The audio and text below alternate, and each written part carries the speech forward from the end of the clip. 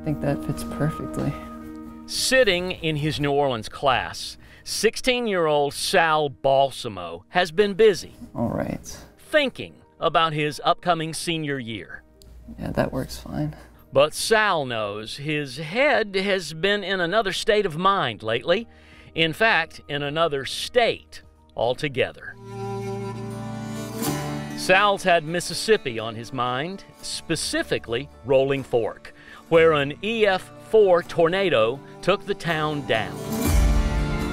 You have family around Rolling Fork, Yeah, an aunt, an uncle, three cousins. and you spent time there as a kid during the summertime? Every 4th of July, yeah. When the tornado hit in March, how did that hit you?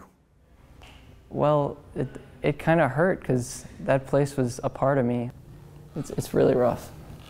Okay, do you know the kind of things that they need? So Sal sat down with his high school principal to present a proposal to set up cardboard boxes. And at what's called now the Willow School, used to be Lusher Charter, after just one week, Toilet paper, canned foods, baby diapers, bottles of water. Some people even brought clothes. if you put it on the scale and weighed it, any idea how much you'd have? Almost 3,000 pounds, over a ton. Sal took a road trip, making the four hour delivery drive himself. You planned to drive your own car, but We had to rent a U-Haul. You couldn't even fit all that stuff in five cars. A New Orleans teenager has a lot on his mind, like the rest of his life.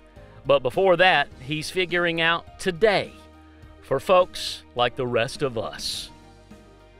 Bill Wood, WGNO News.